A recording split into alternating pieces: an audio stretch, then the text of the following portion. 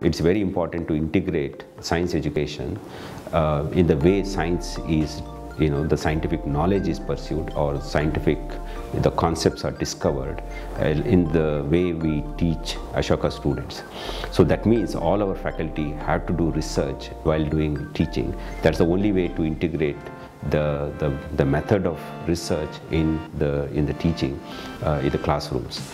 So all biology faculty in Ashoka, the way uh, other faculty in other disciplines of Ashoka, also are very active in research. We follow an open and inclusive uh, lab policy where students at all levels they can come uh, and spend their time in the lab. They can work very closely with PhD students in their respective projects. In that sense, they get exposure to uh, highly advanced uh, research questions from the very beginning of their career. The primary objective uh, of uh, bringing uh, undergraduate students into our research labs is to uh, build a, a, scientific temperament within them.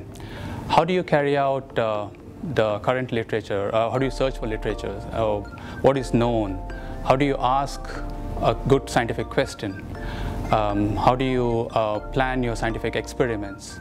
Um, how do you troubleshoot when things go wrong? And uh, how do you interpret your results? How do you avoid bias? And uh, what, what, what are ethical ways of carrying out scientific research? So these are the main things which we want to build into uh, the undergraduate researchers.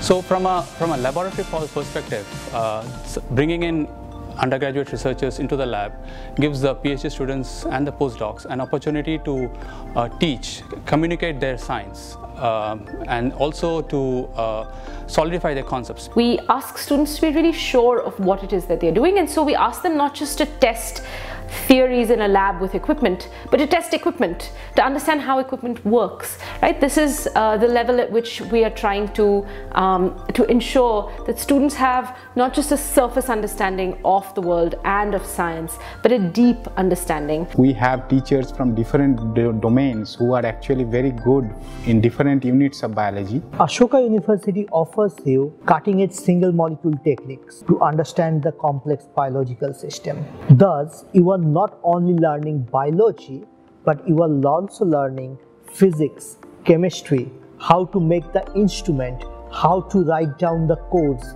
along with the biology.